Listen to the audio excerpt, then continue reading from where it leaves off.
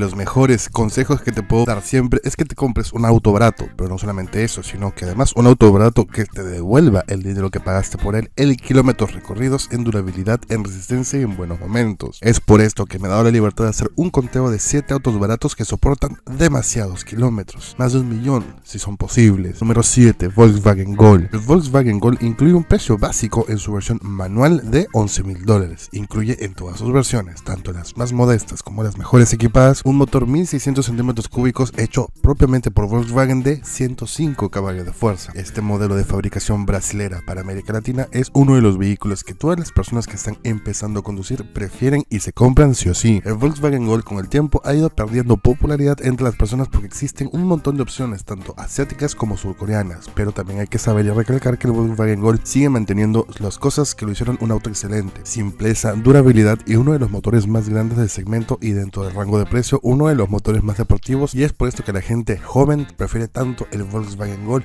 en sus momentos y por supuesto antes de que hubiera tanta competencia porque era un motor 1600 de 105 caballos de fuerza que ningún otro vehículo del segmento tenía, tracción delantera y un vehículo prácticamente indestructible con el cual puedes andar millones de kilómetros y no tener mayores inconvenientes. Volkswagen Gol. Número 6, Kia Soluto. Justo hablando de los contendientes del Volkswagen Gol asiáticos, quería presentarte el Kia Soluto. Este auto que tiene un precio base de 10.500 dólares, 500 dólares menos que el Volkswagen Gol, además un motor 1400 centímetros cúbicos de 95 caballos de fuerza, solamente 10 caballos de fuerza menos que el Volkswagen Gol, vamos a encontrar por qué es que este último, el Gol, ha perdido tanta popularidad.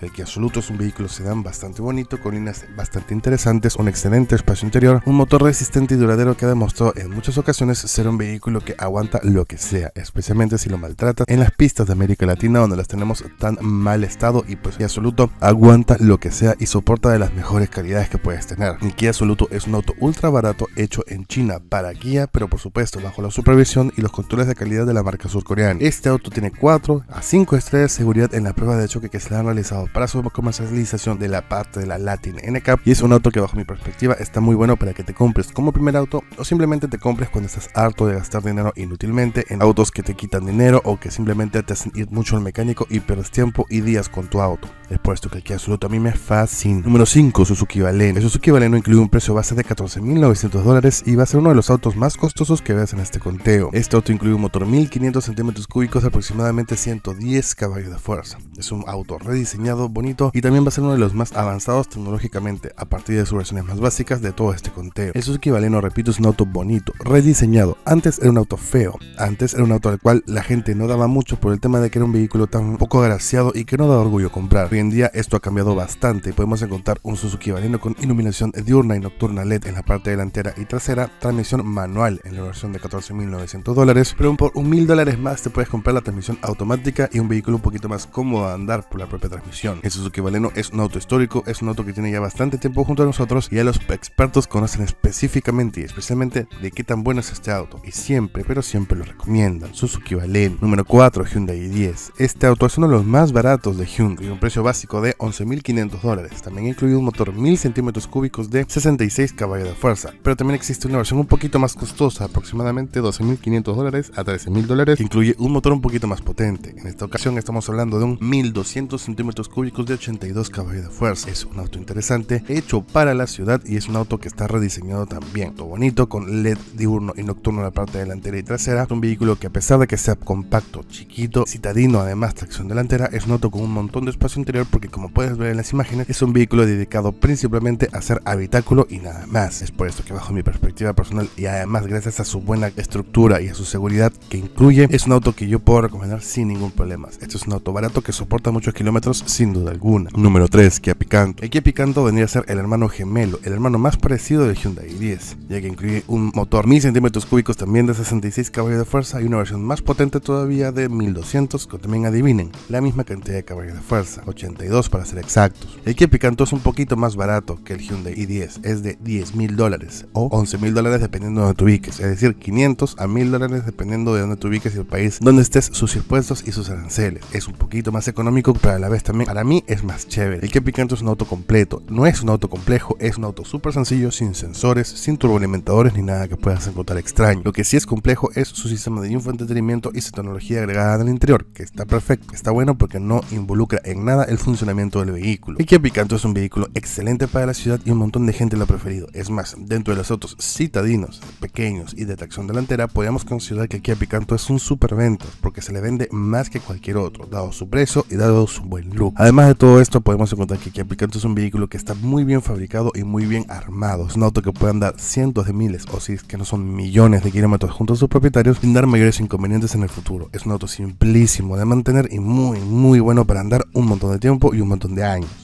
Picanto. Número 2, Mazda 2. El Mazda 2 tiene un precio base de 15.500 dólares, un motor 1.500 centímetros cúbicos con por supuesto tecnología Skya 4 cilindros de 105 caballos de fuerza. Este vehículo tiene mucho dinamismo, tiene muy buen armado, tiene muy buenas calidades en el interior y por su precio de 15.500 dólares, que es el auto más costoso de todo este conteo, no me parece que esté descabellado y no me parece que esté caro, porque si vemos una relación calidad-precio, los pocos 15.500 dólares que el Mazda 2 te pide está más que excelente. Este es un vehículo pequeño, citadino, repito, es un vehículo modesto, es un vehículo que no tiene mucho que ofrecer, es un auto que en verdad, si tú quieres un vehículo que pueda andar del punto A al punto B, siendo simpático, siendo bonito y no dando muchos problemas, el Mazda 2 debe ser para ti. Su motor Skyactiv, que comparte con muchos otros modelos de Mazda, hace que sea uno de los vehículos más divertidos de conducir. Mazda 2. Número 1, Kia Rio. El Kia Rio incluye un precio base de 13.500 dólares y es uno de los autos más grandes y mejores de este conteo. Incluye un motor 1400 centímetros cúbicos de 98 caballos de fuerza, es un auto simpático, es un auto bonito, muy bien equipado de sus versiones más básicas y austeras hasta sus versiones más generosas y deportivas. Y por supuesto es un vehículo que todos aquí ya conocemos.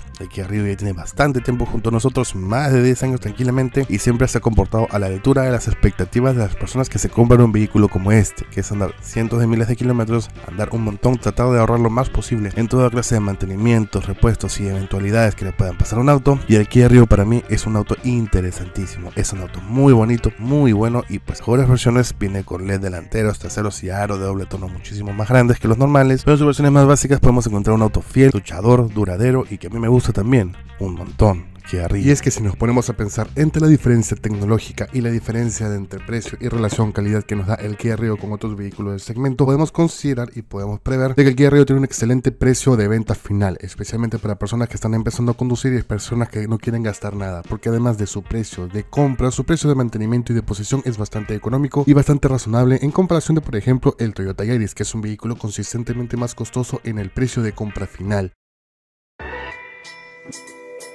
Thank you.